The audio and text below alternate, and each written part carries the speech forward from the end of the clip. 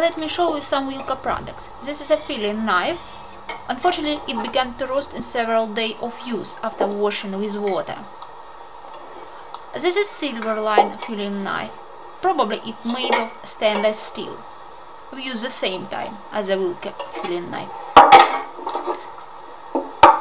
Another one, uh, a rubber mallet. We used in one day and we compacted some of peppers and walkway and it cracked.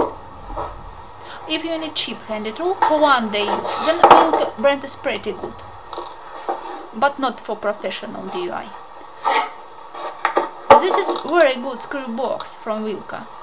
It has detached box with a screw. You can pull out each container with necessary fittings. Pretty good quality.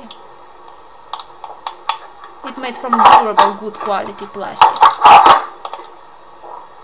It has a long section for long tools.